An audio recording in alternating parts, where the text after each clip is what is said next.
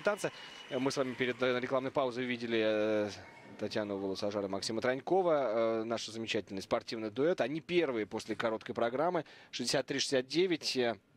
На два балла опережают э, канадцев Меган Дуамел, Эрика Редфорда. Вера Базаров, Юрий Ларионов третий. Ну и, конечно, большая радость для нас. Тухтамышева лидирует после короткой программы. Лиза опережает Каролину Костнер, Алису Чизни. Ну и далее по списку. Ну что, смотрим.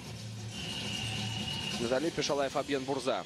Тяжелейший был короткий танец на скейт Америка, потому что страшнейший, страшнейший бронхит. Он просто кашлял во время проката. Его всего трясло, он допустил четыре ошибки. Это все про Фабьена. Смотрим, когда они в Ну, Я силе. думаю, он сейчас уже поправился и должен себя чувствовать на льду, конечно, гораздо свободнее.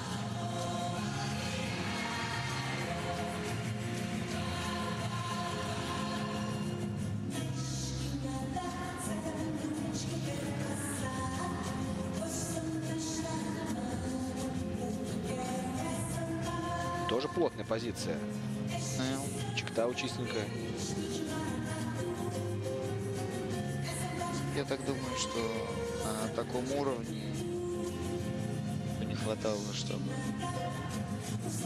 были какие-нибудь далекие позиции. Нет, понятно, что всякое возможно, но это же дуэт мирового уровня, мирового класса. И таких ошибок быть в принципе не должно.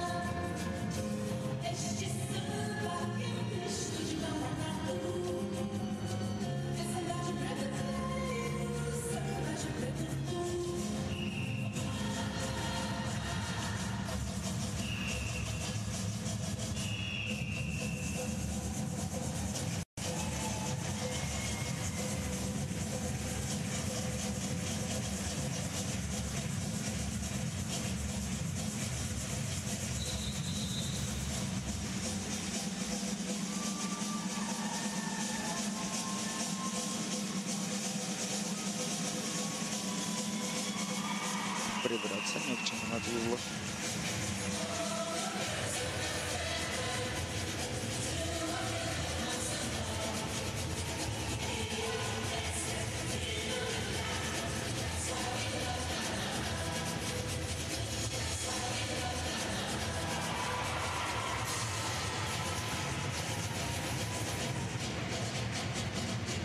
Сергей, а вы помните вообще у них в карьере э, латину?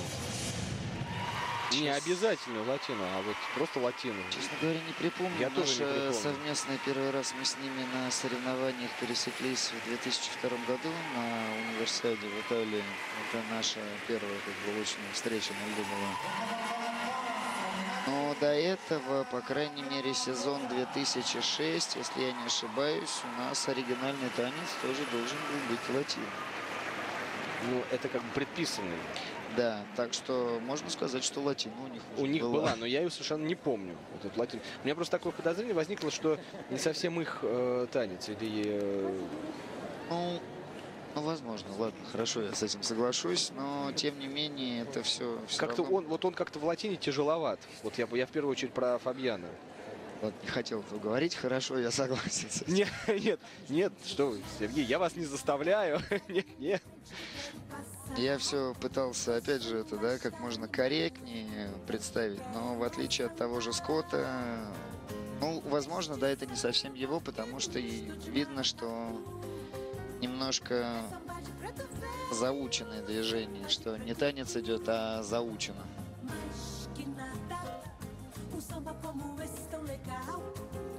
Но ребята славятся тем, что они, конечно, большие технари.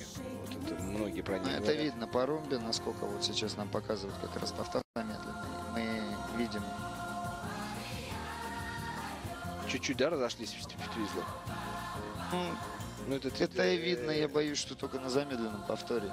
Потому что вживую, в общем-то, даже ничего так в глаза не бросилось. Мне показалось, что э, еще вот э, как-то они выходят на этот танец и не чувствуют былой уверенности. Вот они тоже, кстати, между прочим, как и Лена Ильиных и Никита Коцалапов, ушли от Александра Жулина. Сейчас тренируются у Крыловой, у Анжелики Крыловой, Паскаля Камерленга. Э, не знаю. Как-то они, э, вырвавшись из Леона от Мюрриэль Зазуи, они и переехав в Москву, они, что называется, были такие наполненные, и как будто действительно у них новое дыхание появилось. э, Они были какие-то свежие, обновленные. А сейчас такое ощущение, что они замученные.